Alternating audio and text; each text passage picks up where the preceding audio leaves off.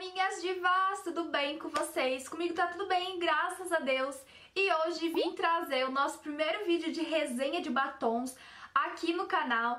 Eu queria dizer pra vocês que eu não trazia antes, meninas, porque eu não tinha uma câmera tão boa.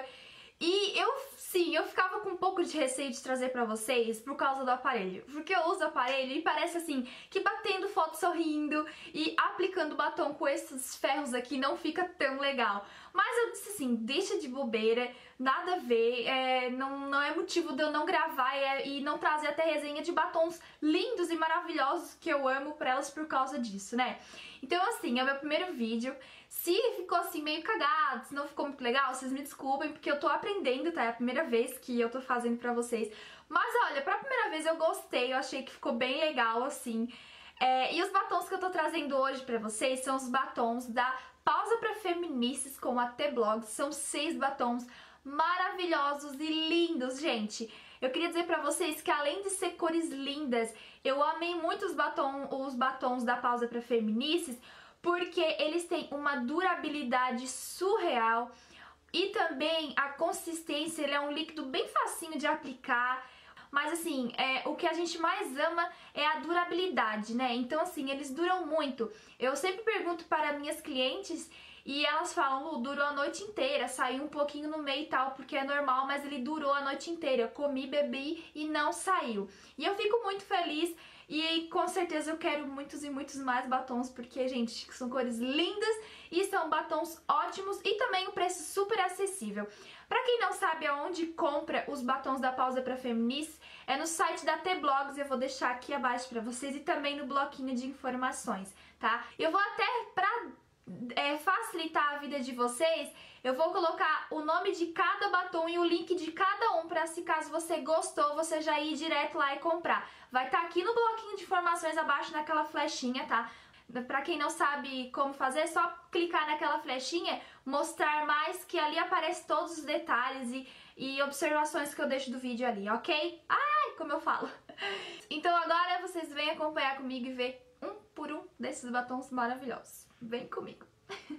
Então, minhas divas, vamos começar. Eu vou começar com o batom Avalon e eu vou fazer a aplicação com esse pincel de boca da Maclan, que é o B507. Eu sempre aplico com ele tanto em mim quanto nas clientes.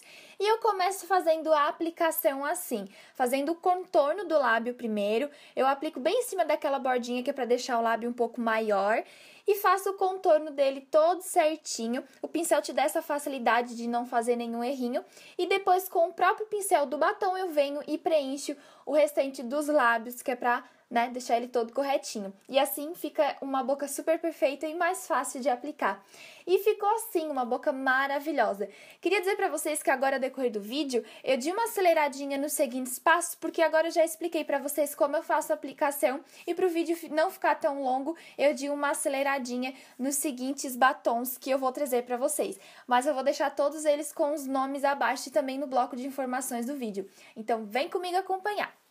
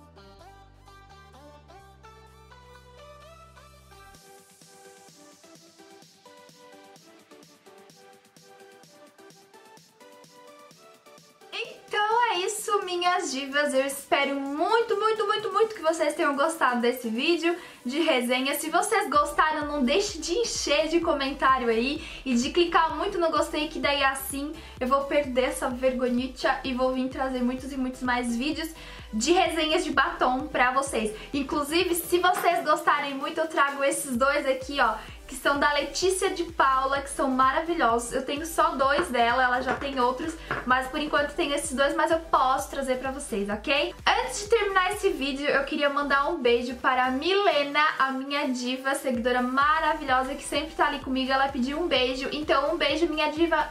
Eu não esqueci do seu beijo.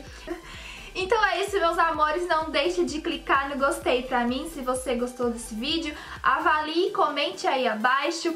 Vou deixar todas as minhas redes sociais aqui, como Instagram e Snapchat e a minha fanpage pra você ficar pertinho de mim e me acompanhar em todas as redes sociais. Então é isso, meus amores. Um beijo mega poderoso hoje e até o próximo vídeo. Tchau!